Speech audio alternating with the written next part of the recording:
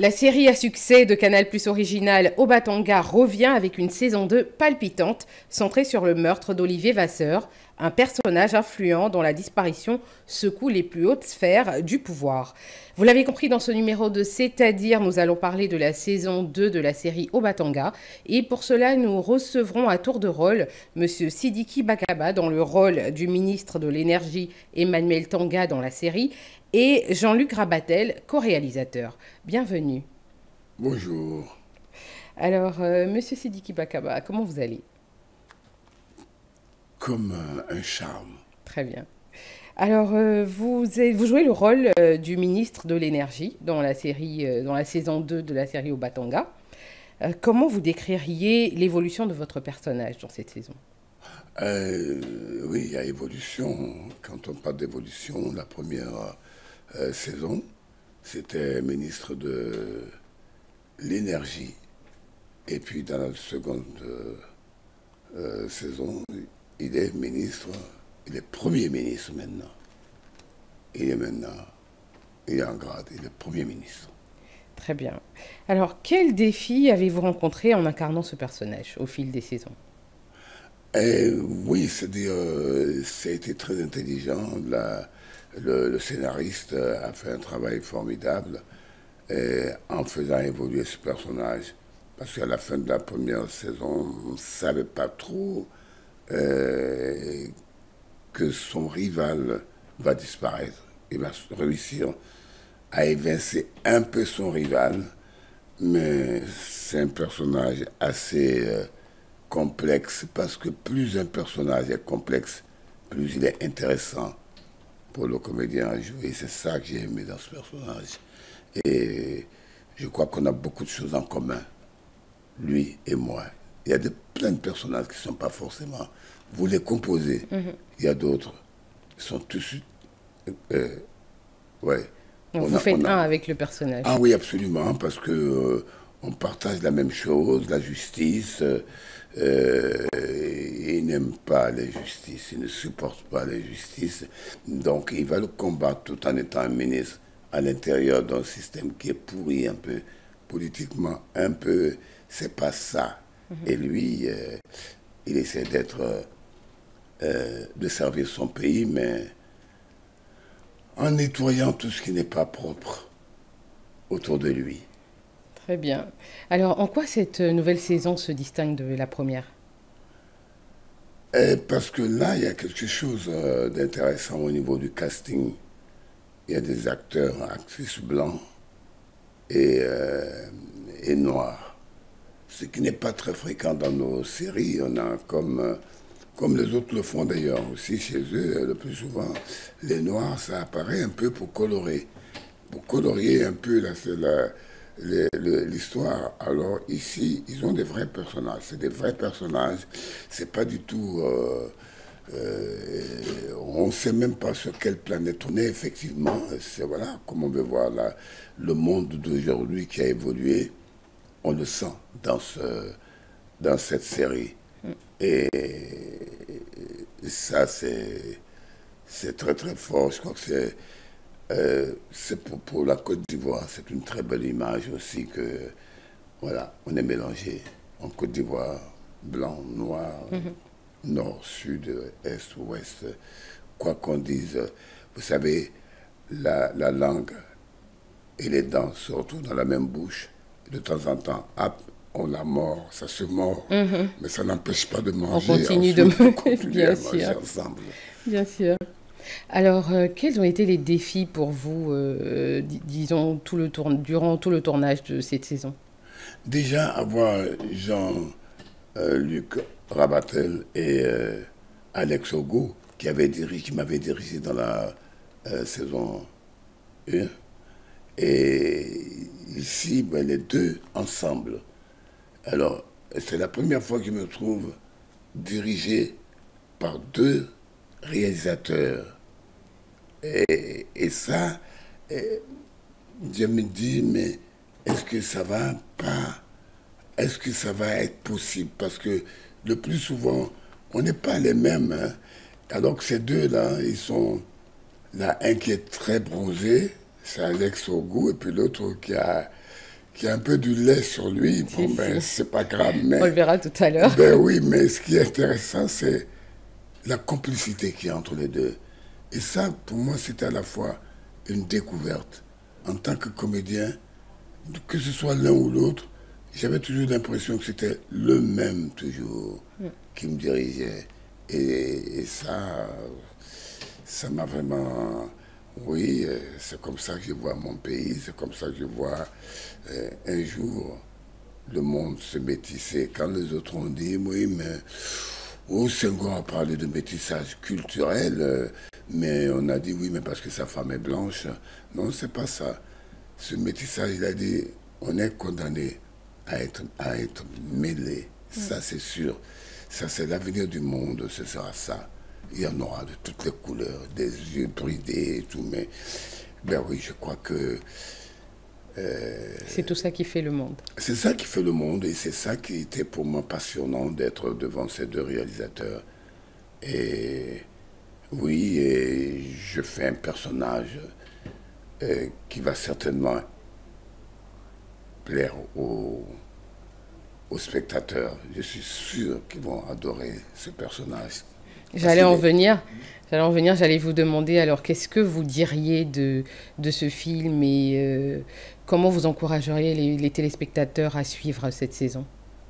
Ben, Il faut qu'on aille nous regarder, il faut que nous nous regardions comme dans un miroir. C'est fait pour ça, l'art aussi. Que ce soit de la peinture, que ce soit de la musique même de fois. Mais je crois que c'est ce qui est un don divin qui est l'art, ici le cinéma.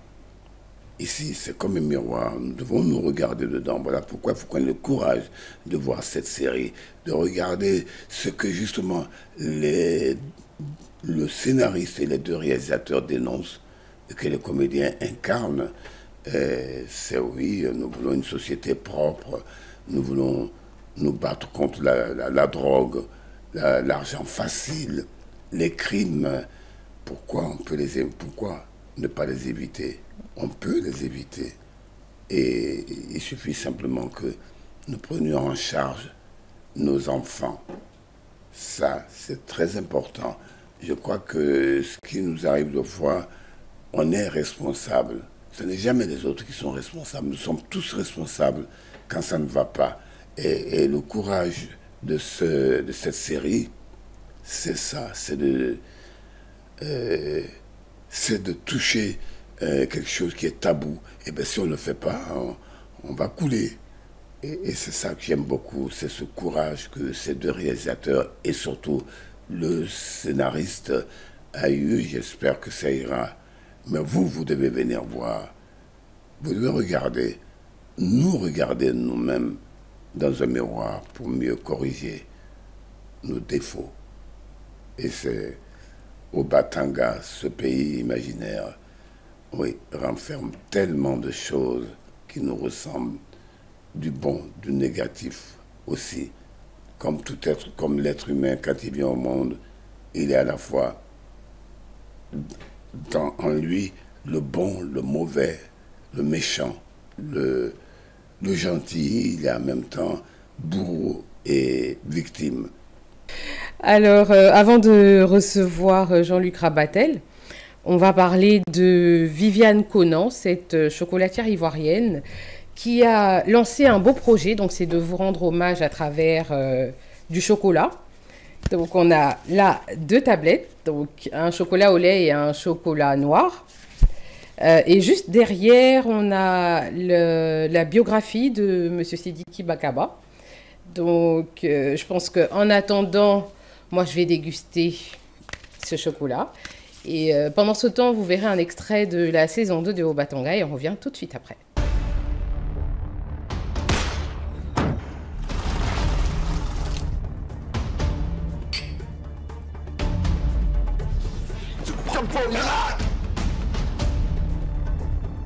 Votre série Canal Plus originale inédite Obatanga saison 2, lundi 14 octobre seulement sur Canal Plus Première.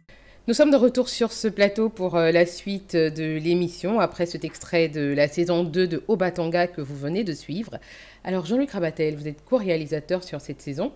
Comment est-ce que vous avez voulu faire évoluer euh, cette saison par rapport à la première? Eh ben, En prenant en compte effectivement l'évolution qui a déjà été apportée d'un point de vue scénaristique par l'auteur de la série qui est donc Henri Mellingui, L'idée, c'était de, et en collaboration avec Alex Ogou, qui m'a fait cet honneur de venir co-réaliser cette saison 2, l'idée, c'était de rester, on va dire, dans la continuité, en essayant d'apporter quelque chose euh, peut-être, euh, on va dire, d'encore plus fort sur lequel on s'appuie à travers déjà le, script du scénario de la saison 2 qui est, qui est très très bien, très, très bien léché. Et, euh, et voilà, donc l'idée effectivement c'était de, de, ne pas dénaturer et en même temps effectivement trouver comme ça peut-être à travers notre collaboration, l'échange qu'on a pu avoir en étant alternativement ensemble sur le plateau ou de manière séparée, parce qu'en fait on a réalisé euh, en fait comment dire des séquences euh, sur l'intégralité des six épisodes. À la base, on devait, euh, il était prévu qu'on réalise chacun trois épisodes, mais mm. finalement, il s'est avéré que de par les contraintes du tournage, on a en fait collaboré vraiment sur une co-réalisation où, comme je viens de le dire, on était vraiment ensemble. On était ensemble sur le plateau pour certaines séquences et parfois de manière individuelle. Et donc, effectivement, l'idée, c'était de, voilà, de rester quand même dans cette continuité et euh, effectivement en essayant de pousser encore plus loin euh, grâce à ce que le, scénariste a, pu nous pondre sur cette saison 2. Très bien. Alors, quelles ont été vos principales inspirations pour euh, la réalisation de cette saison?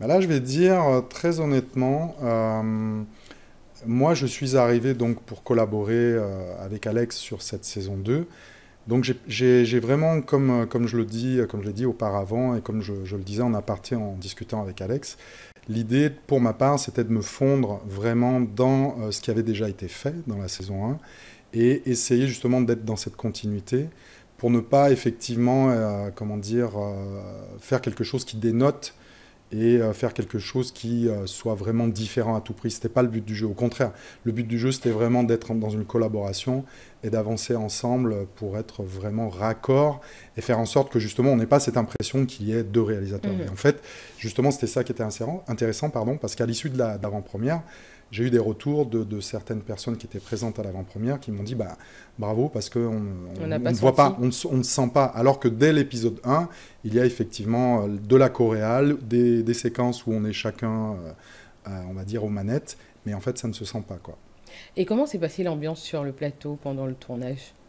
Ah bah, C'était. Euh, bon, moi, j'ai coutume à dire que, euh, de manière sincère, tous les, tournages ne se ressemblent pas, mais euh, il y a toujours des moments, comment dire, où c'est pas toujours évident. Et il faut dire la vérité, des fois, parfois, c'est un peu fatigant, on a beaucoup de contraintes, beaucoup, comme on dit dans le métier, d'imprévus, qui mhm. qui sont pas évidents à gérer. Mais dans l'ensemble, ça s'est plutôt très bien passé. Euh, et ça, grâce à, tous nos, techniciens qui étaient là tous les jours, fidèles au poste. Et puis, effectivement, notre casting aussi, qui a, fortement contribué à, ce que cette série, je n'en doute pas, soit un succès, comme la première saison. Mmh. Est-ce qu'il y a eu des faits marquants pendant ce tournage que vous pouvez raconter? Oui, bon, bah, moi, je me plais à dire, en ce qui me concerne, que j'attendais impatiemment, justement, de, retrouver euh, Sidiki Bakaba, quoi, que j'avais vu euh, dans la saison 1, mhm. que je connaissais déjà auparavant, parce que j'avais déjà vu euh, ce qu'il avait fait euh, à travers toute son œuvre cinématographique. Mhm. Et là, le fait, en plus de l'avoir aperçu dans la saison 1 à travers ce personnage d'Emmanuel Tanga, qui, comme il l'a répété, était euh, le ministre de l'énergie et qui se retrouve promu premier ministre dans la saison 2, ah, effectivement, moi j'étais déjà j'étais emballé à l'idée que Alex me propose de venir collaborer et en plus de surcroît venir euh, diriger euh, Sidiki Bakaba. Alors là, c'était c'était parfait. Très bien. Alors qu'est-ce que vous pouvez promettre aux téléspectateurs pour cette saison 2 bah, Comme je l'ai dit, euh, déjà de la continuité, ça c'est sûr, mais encore mieux quoi. On, on, est dans cette dans ce on va dire un, thriller policier, une, enfin plusieurs intrigues. Alors bien évidemment, comme dans la saison 1, on se retrouve autour de tout, tout démarre sur un meurtre. C'est le point central, le point de départ, on va dire, mhm. et c'est le prétexte en fait. Donc il y a plusieurs, euh, plusieurs couches, plusieurs strates. Donc on retrouve les intrigues tout en haut euh, entre la collusion entre le pouvoir, les affaires, euh, les ambitions personnelles, enfin bref. Et puis en dessous, il y a aussi effectivement les intrigues, intrigues plus à un niveau social entre la relation personnelle que peuvent avoir certains euh, personnages, certains, oui, certains, j'allais dire caractères, comme disent les, Anglais, certains personnages de la série. Mhm. Et du coup, tout ça s'entremêle de manière astucieuse pour à chaque fois attirer le spectateur dans une direction, mais il s'avère que ah, c'est peut-être pas la bonne direction, on ne mhm. sait pas, et on le découvre effectivement à la fin, au sixième épisode. Quoi. Merci beaucoup Jean-Luc Rabatel d'être passé sur ce plateau. Je rappelle que nous étions en compagnie de Jean-Luc Rabatel et avant lui de Sidiki Bakaba qui a joué le rôle d'Emmanuel Tanga dans la saison 2 d'Obatanga. Euh, Jean-Luc Rabatel, co-réalisateur sur cette saison. Nous vous invitons donc à suivre cette saison sur Canal Plus Première. Merci de toujours nous suivre. L'information continue sur cette info et sur www.cetinfo.ci.